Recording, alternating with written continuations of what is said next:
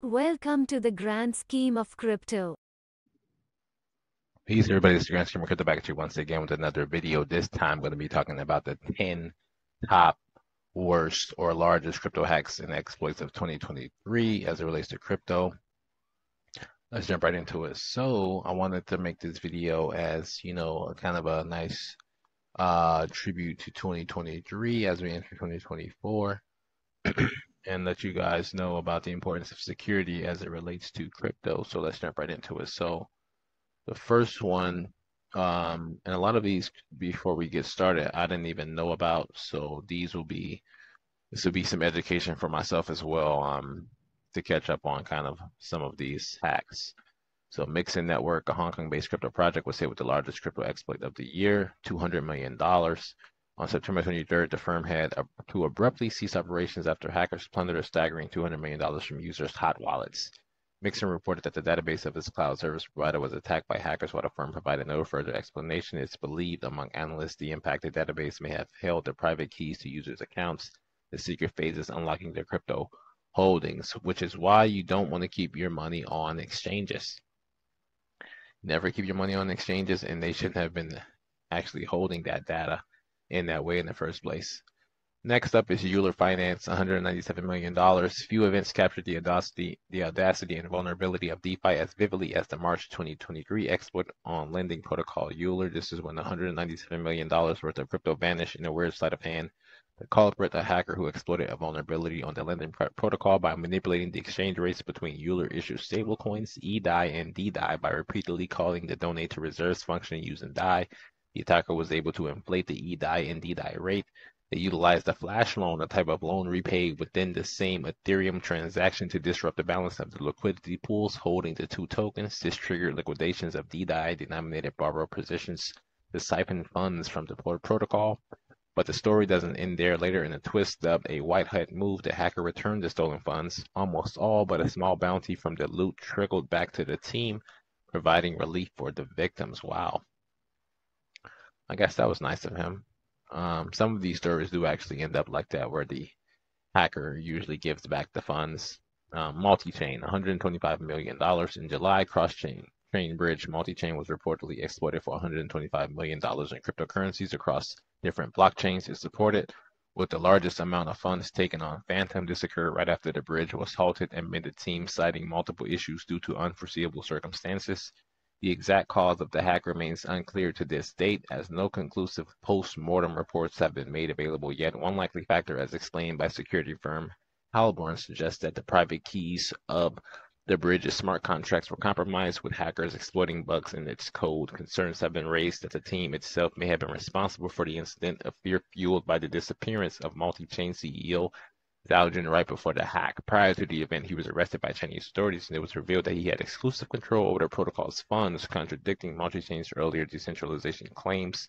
The multi-chain bridge is currently no longer operational. Poloniex. I used to use multi-chain, so that is crazy. I haven't really been around for 2023 um, as far as crypto is concerned. Um, I have been active, just not really as active the next one is Poloniex for $120 million in November 2023. Suspected North Korean Lazarus Group hackers siphoned a staggering $120 million from Poloniex hot wallets, likely by gaining access to private keys. The immediate fallout was predictable. Trading and withdrawals halted. The exchange says it will reimburse infected users. Poloniex has operated as a centralized exchange since 2014. Tron founder Justin Sun acquired the exchange in 2019. Atomic Wallet, $100 million. In June 2023, crypto wallet app Atomic had its users' wallet accounts empty. Hackers stole over $100 million worth of assets from roughly 5,500 users. The primary cause behind the incident remains unclear as Atomic has not yet provided an explanation. It's suspected that the exploit may have been caused by vulner- code vulnerabilities flagged by security analysts at least authority a year prior to the incident. Analysts at Slowmist also found potential issues. On-chain analytics firm Elliptic, which tracked over 5,500 wallets targeted in the attack, said that the North Korean Hacking Association Lazarus Group was behind it. In August, a group of victims in Russia filed a class action lawsuit against the company behind Atomic for falling, failing to protect user assets. A few months later, the firm replied with a motion to dismiss the lawsuit in the U.S. court.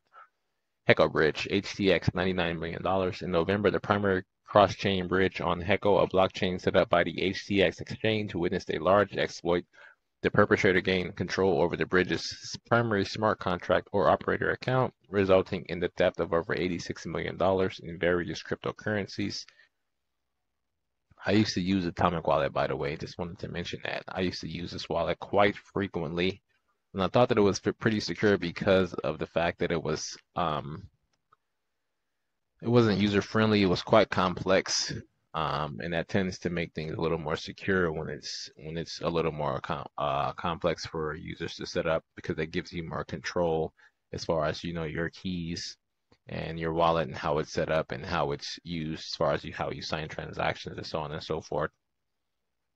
But back to the Heco Bridge hack. Um, so initial analysis suggests that the intruder manipulated the smart contract code of the bridge and circumvented its security protocols. This manipulation allowed the hacker to mint unauthorized tokens via the bridge contract, which were then exchanged for Ether and subsequently transferred out of the bridge.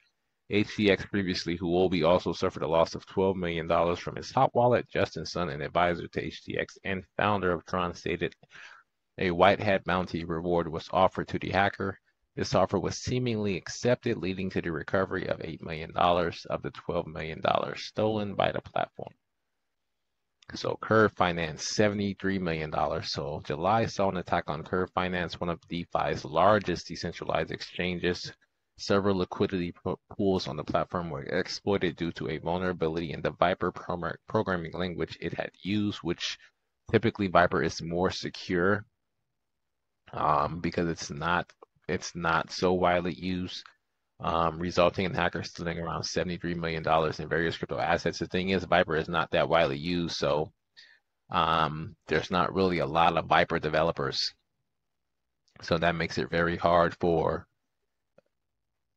you know, I, I would say there's no oversight for some of these developers who are programming in Vyper for some of these larger organizations on the blockchain. There's a lot of trust being placed in these people um, because everything is so new and you know there's just no oversight because how can you when you when that's just is such a small pool of, of developers so a security flaw allowed hackers, attackers to drain funds maliciously by exploiting its smart contract logic. The, this involved a reentrancy attack where the hacker manipulated smart contracts to withdraw funds in rapid succession. A malfunctioning reentry guard within Vyper facilitated this attack. Projects built on top of Curve's factory pools, including JPEG, Metronome, and Alchemix, were impacted. The Curve team quickly patched the vulnerability and eventually ended up recovering about $50 million, or 70% of the stolen funds, alleviating concerns for many users and stakeholders. Recovered funds were either directly given back by ethical hackers involved or saved with the assistance of operators um, of MEV bots such as CoffeeBabe.eth.